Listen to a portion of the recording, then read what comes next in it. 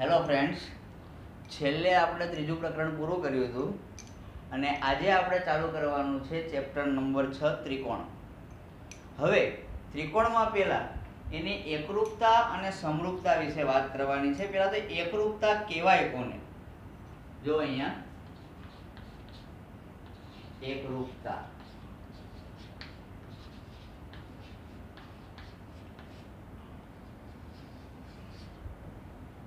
જ્યારે કોઈ પણ બે આકૃતિના કદ અને આકાર બંને સરખા હોય, તો એ આકૃતિઓને એકરૂપ આકૃતિ કહેવાય. શું સરખું હોવું જોઈએ? બોલો તો. કદ અને આકાર. જ્યારે કોઈ આકૃતિના કદ અને આકાર બંને સરખા હોય, તો એ બંને આકૃતિઓ એકરૂપ છે તેમ કહેવાય. જો તમને અહીંયા બતાવું આ એક ચોરસ છે.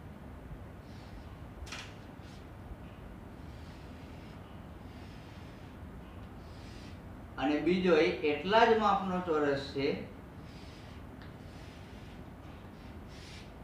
આ બંને, આને એક નામ આપે એ બી સી ડી આને આપી દઈએ પી ક્યુ આર એસ તો જો, આ બંને આકૃતિના આકાર સરખા છે. બંનેનો આકાર કેવો છે? ચોરસ.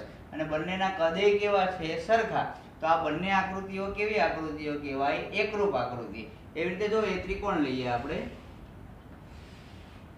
આ એક ત્રિકોણ છે. A, B, C. આ બીજો ત્રિકોણ છે. P, Q, R. આ બંને આકૃતિના આકાર સરખા છે ત્રિકોણ, કદ સરખા છે. તો આ બંને આકૃતિઓ એકરૂપ કહેવાય, આ બંને આકૃતિઓ કેવી કહેવાય? એકરૂપ. હવે એકરૂપને સંકેતમાં આવી રીતે લખાઈ જોજો. બરાબર? આ એકરૂપની નિશાની થઈ ગઈ. શેની નિશાની થઈ ગઈ? એકરૂપની. આવું બધું તમે નવમા ધોરણમાં ભણી ગયા છો. એકરૂપતા વિશે. અત્યારે આપણે ભણવાનું છે સમરૂપતા વિશે. છતાં એકરૂપતા વિશે મેં તમને યાદ કરાવી દીધું કે બંને આકૃતિના કદ અને આકાર બંને સરખા હોય તો એને એકરૂપ આકૃતિઓ કહેવાય. બરાબર? એના સંકેતમાં આવી રીતે લખાય, દાખલા તરીકે આ ચતુષ્કોણ એબીસીડી છે. તો ચતુષ્કોણ એ બી સી ડી એકરૂપ ચતુષ્કોણ પી ક્યુ આર એસ એવી જ રીતે આને લખાય ત્રિકોણ એ બી સી એકરૂપ ત્રિકોણ પી ક્યુ આર ચલો, આટલી ખ્યાલ, આટલો ખ્યાલ આવી ગયો, ખબર પડી ગઈ આટલી? ફરીથી એકવાર કહી દઉં છું, કદ સરખા અને આકાર સરખા. આકાર ને કદ બંને સરખા હોય તો એવી આકૃતિઓને એકરૂપ આકૃતિઓ કહેવાય. કેવી કહેવાય? એકરૂપ આકૃતિઓ. ચલો, એકરૂપ આકૃતિઓમાં કોણ કોણ આવશે? તો બે ચોરસ. ક્યારે?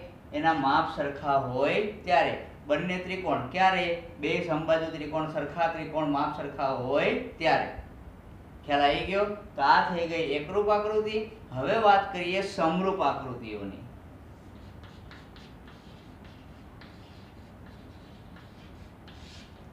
સમરૂપ. હવે સમરૂપતામાં કેવું હોય ખબર છે? આકાર સરખા હોવા જોઈએ. કોણ સરખો હોવો જોઈએ? આકાર. કદ સરખા હોય કે ના હોય? હોય ખરા? નાય હોય. કદ સરખા હોય એવું જરૂરી નથી. કોણ સરખો હોવો જોઈએ? આકાર સરખા હોવા જોઈએ. જો હું તમને અહીંયા બતાવું છું. આ ચોરસ છે. આ બીજો ચોરસ છે. જો બંનેના આકાર કેવા છે? સરખા છે. કેવા છે? સરખા. પણ કદ જુઓ. કેવા છે? નાના મોટા, તો આ આકૃતિઓ સમરૂપ થાય. કેવી થાય? સમરૂપ થાય. કેમ કે આકાર સરખા છે, પરંતુ કદ સરખા નથી. એટલે આ બંને આકૃતિ એકરૂપ કહી શકાય નહીં. કેવી કહેવાય? સમરૂપ કહેવાય અને સમરૂપ દર્શાવવા માટે આ નિશાની આવે. ખબર પડી ગઈ? સમરૂપ દર્શાવવા માટે કઈ નિશાની આવે? આ નિશાની. જો ખરેખર તો સમરૂપતાનો નિયમ આ છે. ધ્યાન રાખજો ખાસ. જો એકરૂપતાનો નિયમ કહી દો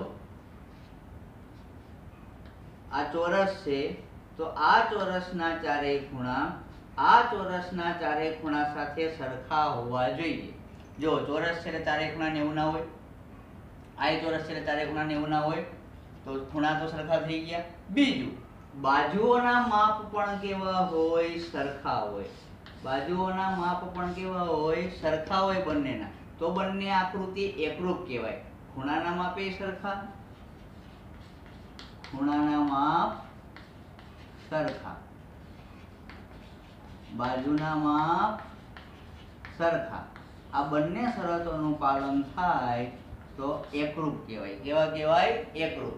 જો સમરૂપમાં ખૂણા સરખા હોય, જો ચોરસ છે એટલે ચારે ખૂણા કાટખૂણા હોય ચારે ખૂણા કાટખૂણા હોય પણ જો બાજુઓના માપ સરખા નથી, આ ચોરસની બાજુ નાની છે. આ ચોરસની બાજુ મોટી છે. તો સમરૂપ થવા માટે ખૂણા કેવા હોવા જોઈએ? બોલો તો સરખા. કેવા હોવા જોઈએ? સરખા. અને બાજુઓ માટે એક નિયમ છે કે બાજુઓ સમપ્રમાણમાં હોવી જોઈએ. હવે સમપ્રમાણનો મતલબ શું થાય? તો દરેક બાજુનો ગુણોત્તર સરખો આવવો જોઈએ. જો અહીંયા તમને બતાવે એટલે વધારે ખ્યાલ આવશે. આને એક નામ આપી દઈએ. A B C D P Q R S ready હવે આ નું બાજુનું માપ રાખીએ ચાર. તો ચોરસ છે એટલે બધી બાજુ ચાર ચાર ચાર. આ થોડોક મોટો છે. એનું માપ રાખીએ છ. છ છ છ છ. ચોરસ છે એટલે ચારે બાજુ શક્ય હોય. હવે આ બે ચોરસની બાજુઓના ગુણોત્તર લઈએ. જો એ બી નો આની આરે આની આરે કોઈ પણ સાથે લ્યો, આપણે લઈએ એ બી અપોન પી ક્યુ થયો ને ગુણોત્તર? એ બી ઉપર પી ક્યુ ની આને ગુણોત્તર લીધો કહેવાય. હવે આનો ગુણોત્તર શોધો. એ બી કેટલો છે? ચાર. પીક્યુ કેટલો છે? છ. બે દુ ચાર. બે તરી છ. કેટલા એવા બોલો તો? બે અપોન ત્રણ. બીજી બાજુનો ગુણોત્તર લઈએ. એડી અને પીએસ એડી નું માપ કેટલું? ચાર. પીએસનું કેટલું? છ. કેટલું આવશે? બે અપોન ત્રણ. એવી રીતે આનું લેશો, આ બેનો ગુણોત્તર લેશો તો કેટલું આવશે? બે અપોન ત્રણ. આ બેનો લેશો તો કેટલું આવશે? બે અપોન ત્રણ. એટલે કે બધી બાજુઓનો ગુણોત્તર કેવો આવ્યો? સરખો. હવે બધી બાજુઓનો ગુણોત્તર સરખો આવે, તો એ સમ પ્રમાણમાં છે તેમ કહેવાય. કેવી કહેવાય? સમ પ્રમાણમાં બાજુઓના ગુણોત્તર સરખા આવે, તો એ સમ પ્રમાણમાં છે તેમ કહેવાય. બરાબર છે? એટલે ફરીથી કહું છું, ખૂણા કેવા હોવા જોઈએ સમરૂપ થવા માટે એકરૂપ કેવા હોવા જોઈએ? એકરૂપ એટલે ખૂણા કેવા હોવા જોઈએ? સરખા. સમરૂપ થવા માટે ખૂણા કેવા હોવા જોઈએ? સરખા. અને બાજુઓ કેવી હોવી જોઈએ? સમ પ્રમાણમાં. કેવી હોવી જોઈએ? સમ પ્રમાણમાં. ખૂણા સરખા.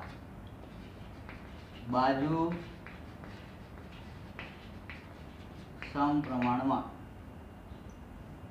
બરાબર છે?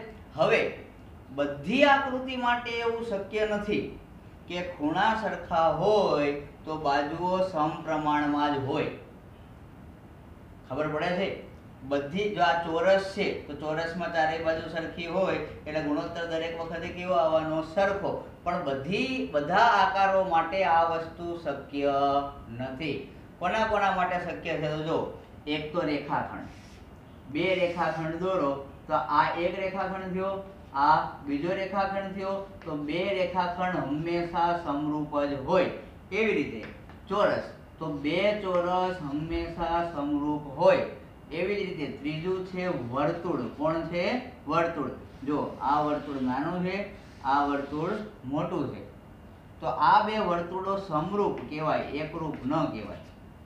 પણ જો બે એક સરખા માપના વર્તુળ દોરીએ, આની ત્રિજ્યાએ ત્રણ છે, બીજું વર્તુળ દોર્યું, એની ત્રિજ્યાએ ત્રણ છે, તો આ બંને વર્તુળ એકરૂપ કહેવાય. કેમ કે બેના માપ કેવા છે? સરખા. આમાં એક વર્તુળ નાનું છે, એક વર્તુળ મોટું છે, તો આને એકરૂપ ન કહેવાય. કેવા કહેવાય? સમરૂપ. તો આ આ આકૃતિઓ હંમેશા સમરૂપ હોય, યાદ રાખજો. કોણ કોણ? એક તો રેખાખંડ, બીજું કોણ? ચોરસ, અને ત્રીજું કોણ? વર્તુળ. ખબર પડી ગઈ? બરાબર છે? તો આ ફેર છે એકરૂપમાં અને સમરૂપમાં. હવે હું તમને લખાવી, તમારે નોટમાં લખવાનું છે એટલે વ્યવસ્થિત લખાવું છું. આ તમને સમજાવ્યું. બરાબર? આટલું પૂછી નાખીએ.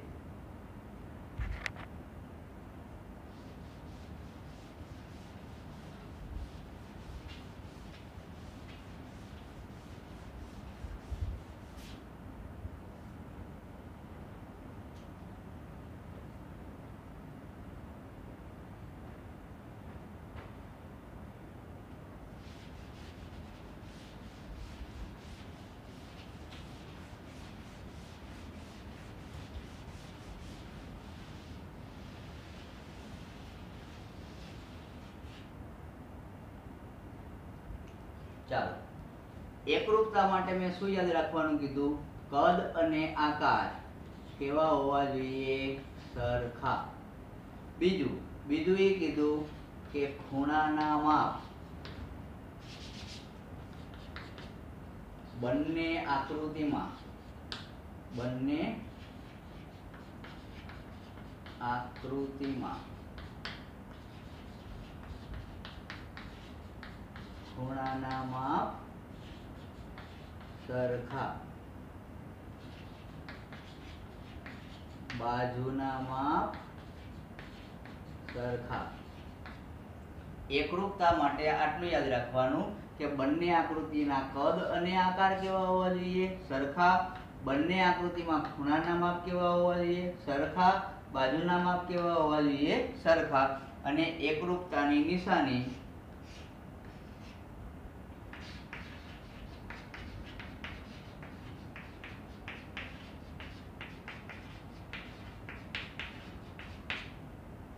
ઓકે.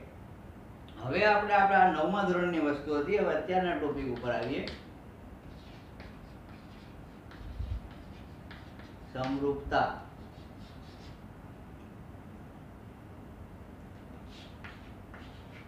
કદ કેવા? સોરી આકાર કેવા? સરખા. કદ કેવા? તો સરખા હોય તેવું જરૂરી નથી. બરાબર? જો સમરૂપતા માટે આકાર કેવા હોવા જોઈએ? સરખા. એક ચોરસ હોય તો સામે બીજો ચોરસ હોય તો જ સમરૂપ થાય. એક ચોરસ અને ત્રિકોણને સમરૂપ કરવા જાવ તો ના થાય. એટલે આકાર કેવા હોવા જોઈએ? સરખા. અને કદ. સરખા હોય તેવું જરૂરી નથી. સરખા હોય તો તો ચાલે. કેમ કે એકરૂપ હોય એ હંમેશા સમરૂપ હોય જ. જો એક ઉદાહરણ લઈને બતાવું તમને. જો આ ચોરસ છે. આ એક ચોરસ છે. આ બીજો ચોરસ છે. આની દરેક બાજુનું માપ ચાર ચાર ચાર. ખૂણા તો આપણને ખબર જ છે નેવું અંશ હોય ચોરસ છે એટલે. અને આય દરેક બાજુનું માપ ચાર ચાર ચાર. ચલો હવે તમે મને કહો કે આ બંને આકૃતિ કેવી? એકરૂપ છે કે નથી? તો છે. કેમ કે ખૂણા બધા સરખા છે નેવું નેવું નેવું બાજુઓ બધી સરખી છે, ચાર ચાર ચાર. તો આ બંને આકૃતિ કેવી કહેવાય? એક રૂપ.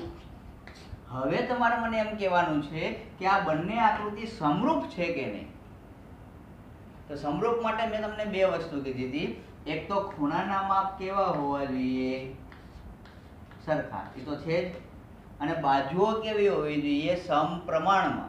એટલે કે ગુણોત્તર કેવો આવવો જોઈએ? સરખો. ગુણોત્તર લ્યો. આ બેનો ગુણોત્તર લ્યો. તો ચાર અપોન ચાર કેટલા આવશે?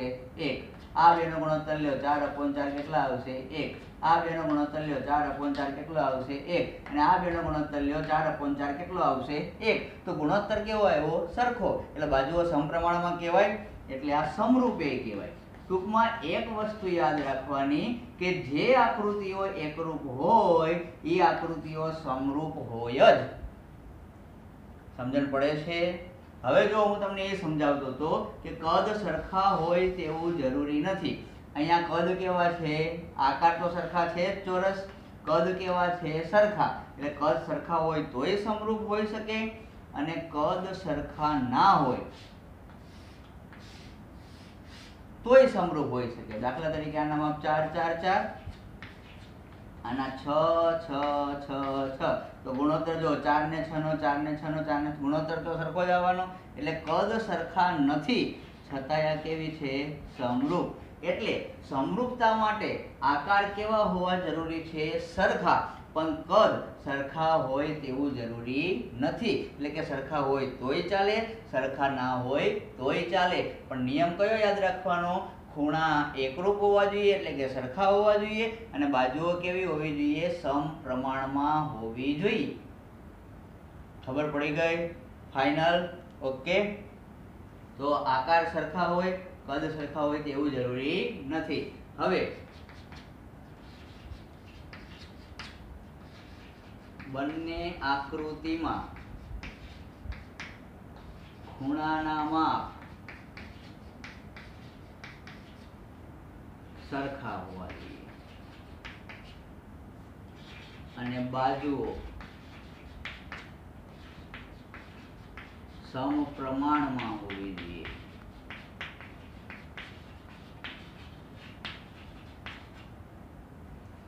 બંને આકૃતિમાં ખૂણાના માપ કેવા હોવા જોઈએ? સરખા અને બાજુઓ કેવી હોવી જોઈએ? સમપ્રમાણમાં. તો એ સમરૂપ ત્રિકોણ સમરૂપ આકૃતિઓ છે તેવું કહેવાય. સમજણ પડી? હવે આપણે બહુકોણોની વાત કરીએ. બહુકોણ એટલે શું? તો બહુકોણ એટલે જેમાં એક કરતા વધારે ખૂણા હોય ને એને બહુકોણ કહેવાય. જો ત્રિકોણમાં કેટલા ખૂણા આવે? ત્રણ ખૂણા તો એ બહુકોણ કહેવાય. ચતુષ્કોણમાં કેટલા ખૂણા આવે? ચાર ખૂણા તો એ બહુકોણ કહેવાય. પંચકોણમાં કેટલા ખૂણા આવે? પાંચ ખૂણા. તો એ બહુકોણ કહેવાય. હવે બહુકોણ વિશે વાત કરીએ.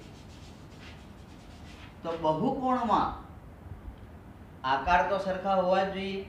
સમરૂપ થવા માટે બીજું ખૂણાના માપ અને આ ઉપરાંત બાજુઓનો ગુણોત્તર સરખો હોવો જોઈએ. હમણાં મેં કીધું એમ જ. આકાર સરખા, ખૂણાના માપ સરખા અને બાજુઓ કેવી હોવી જોઈએ? સમપ્રમાણમાં. આવું બધા બહુકોણ માટે લાગુ પડે. પણ ત્રિકોણની હું તમને વાત કરું કે ત્રિકોણમાં કેવું હોય? ખબર છે કે ત્રણ ખૂણાના માપ સરખા થાય તો બાજુઓ ઓટોમેટિક સમપ્રમાણમાં જ હોય. એને બતાવવાની જરૂર પડે નહીં. એ તમે માપ લઈને આકૃતિ દોરો. દાખલા તરીકે મેં એક ત્રિકોણ દોર્યો. આ ખૂણાનું માપ છે સિત્તેર, આનું છે પચાસ અને આનું છે સાહીઠ. ત્રિકોણના ત્રણે ખૂણાનો સરવાળો એકસો એંસી થાય. સિત્તેર પચાસ એકસો સાહીઠ એકસો એંસી. આવો એક ત્રિકોણ દોર્યો. હવે બીજો ત્રિકોણ હું આટલા જ માપનો દોરું. ભલે ખૂણા આ સિત્તેર છે તો આ સિત્તેર રાખીએ, આ પચાસ રાખીએ, આ સાહીઠ રાખીએ. તો બાજુઓના જે માપ છે, એ ઓટોમેટિક સમપ્રમાણમાં થઈ જ જાય. ત્રિકોણમાં ખૂણાના માપ સરખા હોય, તો બાજુઓ ઓટોમેટિક સમપ્રમાણમાં થઈ જ જાય. એટલે ત્રિકોણ માટે તમારે સમરૂપતા માટે કોઈ પણ એક વસ્તુ બતાવવાની રહે કે જો ખૂણાના માપ સરખા બતાવી દો, તો બાજુઓ ઓટોમેટિક સમપ્રમાણમાં થાય એટલે બંને આકૃતિ સમરૂપ થઈ જાય. અથવા ઊંધુંય કરી શકો, તમે બે ત્રિકોણની ત્રણેય બાજુઓ જો સમપ્રમાણમાં હોય, તો ખૂણા ઓટોમેટિક સરખા થઈ જાય.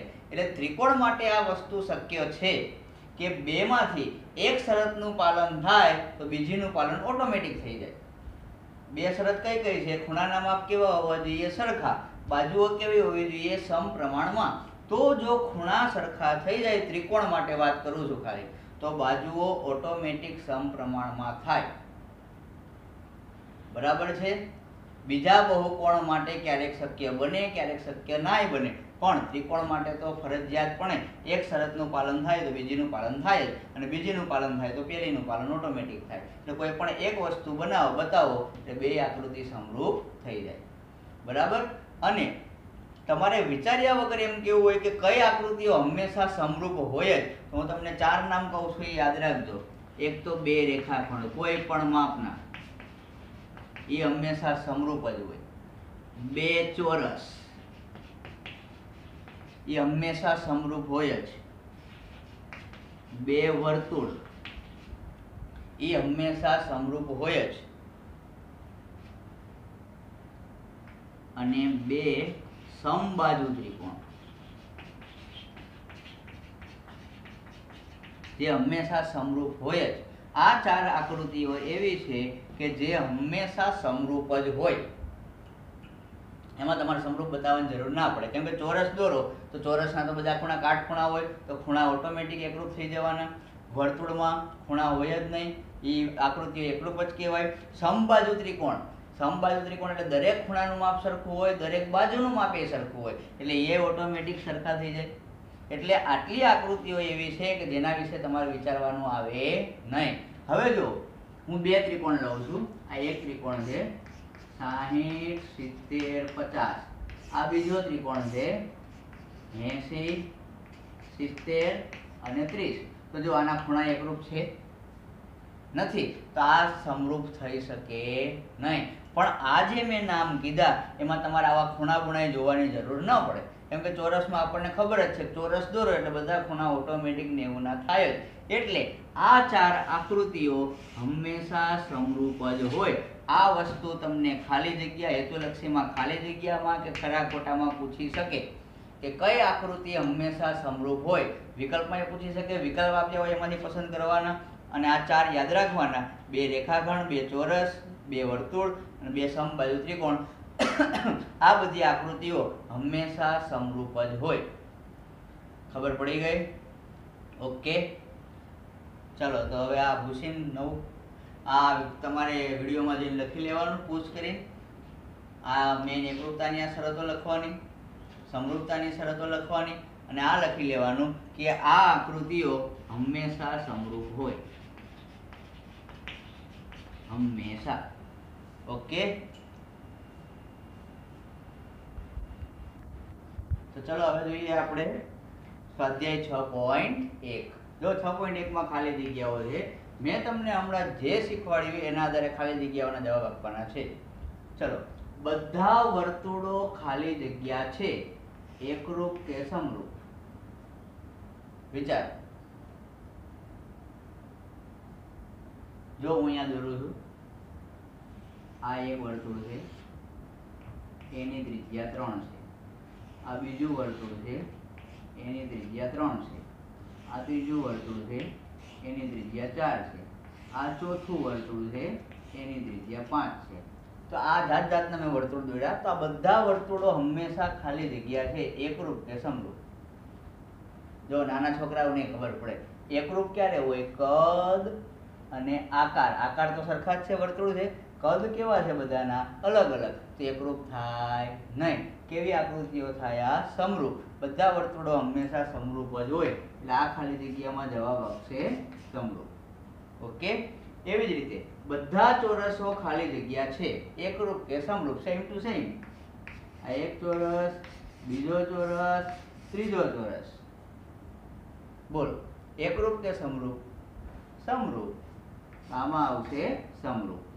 પછી બધા ખાલી જગ્યા ત્રિકોણો સમરૂપ છે. જો મેં તમને કીધું કે આટલી આકૃતિઓ હંમેશા સમરૂપ હોય, કઈ કઈ કીધી હતી? બોલો. રેખાખંડ, ચોરસ, વર્તુળ અને સમબાજુ ત્રિકોણ. તો બધા ખાલી જગ્યા ત્રિકોણ સમરૂપ હોય, તો આવશે તમારે સમબાજુ ત્રિકોણ. ચાલો. પછી, જો બે બહુકોણના અનુરૂપ ખૂણાઓ ખાલી જગ્યા હોય અને તેમની અનુરૂપ બાજુઓ ખાલી જગ્યા હોય તો સમાન સંખ્યાની બાજુવાળા બહુકોણ સમરૂપ થાય. જો મેં તમને બહુકોણ સમરૂપ થવા માટે બે શરત કીધી હતી. પહેલી શરત, ખૂણાઓ હંમેશા કેવા હોવા જોઈએ? સરખા. અને બાજુઓ કેવી હોવી જોઈએ? સમપ્રમાણમાં. તો આ બહુકોણના અનુરૂપ ખૂણાઓ કેવા થશે? સમાન. સમાન થાય. ખૂણાઓ હંમેશા સમાન થાય. અને બાજુઓ કેવી થાય? સમપ્રમાણમાં. હવે એનો દાખલા નંબર બે છે. સમરૂપ આકૃતિઓના નામ આપો. હમણાં આપણે વાત કરી, કઈ આકૃતિઓ હંમેશા સમરૂપ હોય? તો રેખાખંડ, બધા રેખાખંડ સમરૂપ જ હોય. ચોરસ, વર્તુળ અને સમબાજુ ત્રિકોણ. આ હંમેશા કેવા હોય? સમરૂપ જ હોય. એટલે સમરૂપ આકૃતિઓમાં તમે આ ચાર નામ લખી શકો. અને છેલ્લું, સમરૂપ ન હોય તેવી આકૃતિઓ. તો જો હું તમને બતાવું. આ કેવો ત્રિકોણ છે? નેવું નો ખૂણો બન્યો કાટકોણ ત્રિકોણ છે? આ બે ખૂણાના ગમે એમાં વાપી દઈએ. નેવું ત્રીસ, એકસો વીસ ને સાહીઠ આ બરાબર? અને બીજો આ ત્રિકોણ મેં દોરેલો. આ ગુરુકોણ ત્રિકોણ છે, એટલે આ ખૂણો હોય ને, એ નેવું કરતાં મોટો હોય. આ એકસો દસ રાખો. આ ત્રીસ રાખીએ. આ ચાલીસ. તો જો, આ બે આકૃતિઓ સમરૂપ કહેવાય. સમરૂપતાની આપણી શું શરત છે? ખૂણાઓ હંમેશા કેવા હોવા જોઈએ? સરખા. આમાં કોઈ ખૂણાનો મેળ છે કરવા એકનો છે, પણ ત્રણેયનો હોવો જોઈએ એવું કાંઈ સેટિંગ નથી. તો આ આકૃતિ સમરૂપ થાય નહીં. તો તમે એવું લખી શકો, કાટકોણ ત્રિકોણ અને આ ગુરુકોણ ત્રિકોણ. એક ખૂણો નેવું કરતાં મોટો હોય ને, એટલે એને ગુરુકોણ ત્રિકોણ કહેવાય. તો કાટકોણ ત્રિકોણ, ગુરુકોણ ત્રિકોણ. એ સમરૂપ આકૃતિ કહેવાય નહીં. એવી જ રીતે એક લઘુકોણ ત્રિકોણ, એક ગુરુકોણ ત્રિકોણ. એ સમરૂપ આકૃતિ કહેવાય નહીં. તો બોલો, આટલી ખબર પડી ગઈ. હવે આવતા લેક્ચરે પહેલાં આપણે સમપ્રમાણતાનો પ્રમાણતાનો પ્રમેય ભણવાનો છે. બરાબર? અને એ પ્રમેયમાં ખાસ ધ્યાન રાખવાનું ત્યારે ને ત્યારે તૈયાર કરી નાખવાનો. કેમ કે બોર્ડની પરીક્ષામાં પ્રમેય પૂછાય છે ચાર માર્કનો. એ પ્રમેયની રકમ કોઈ દિવસ ના બદલાય બેઠે બેઠો જ આવે હંમેશા. દાખલામાં તો કેવું, દાખલા તમે શીખ્યા કદાચ રકમ બદલીને પૂછે. જો કે આપણને આવડવાના જ છે, પણ પ્રમેયમાં તો રકમ ન બદલાય. એ બેઠે બેઠી ચાર માર્કની વસ્તુ છે. એટલે જ્યારે આજે ચલાવવું ગઈ આવતીકાલે ચલાવવું આવતા લેક્ચરમાં એટલે ત્યારે ને ત્યારે કમ્પ્લેટ તૈયાર કરી નાખવાનું. ઓકે, જો કે હું ચલાવીશ એટલે સિત્તેર ટકા તો તૈયાર થઈ જ જશે, પણ પછી તમારે બે ત્રણ વાર વાંચી અને તૈયાર કરી નાખવાનું. Okay bye